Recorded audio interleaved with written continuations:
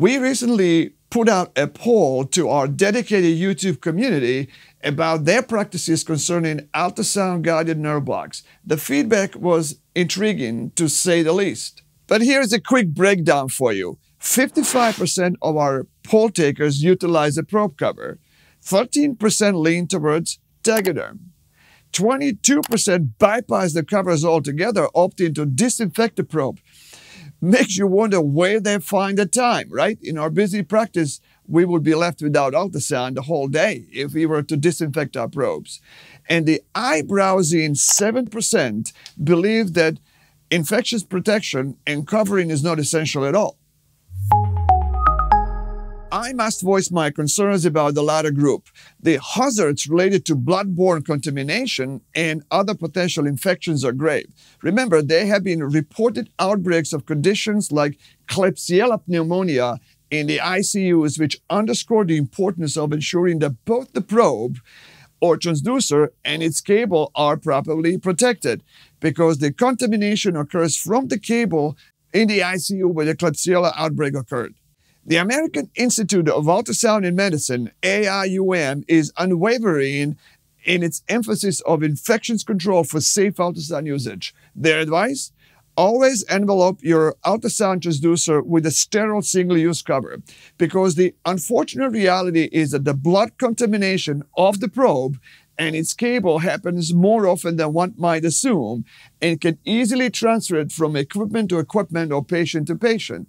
While infections related to nerve blocks might be uncommon, and particularly it may be very difficult to trace to the source, not utilizing probe covers in ultrasound guided blocks can be an indefensible stance in a courtroom scenario should a patient contract an infection. Therefore, you simply don't have an excuse of not using a probe cover whenever you are doing a procedure where the needle violates the skin integrity, such as with nerve blocks. An interesting tidbit from our recent Nysora workshop, many practitioners favor Tegaderm due to its easy application and removal. However, our in-depth race video comparing Tegaderm and two probe covers found that the probe covers are faster.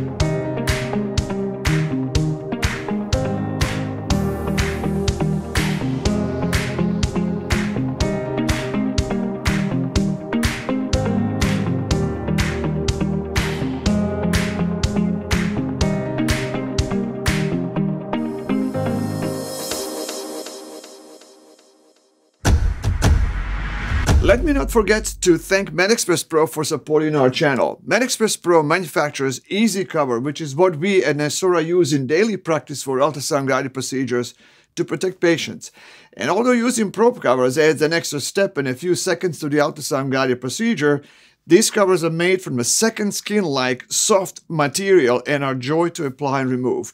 The EZCOVER enhance our experience further with their engaging designs, such as a stop sign as a reminder to perform the stop before you block checklist, or the helpful markings like hand here, probe here, pull here. They reduce the likelihood of errors during the application, which everyone also in our practice uses creatively for fun, well beyond strictly professional applications.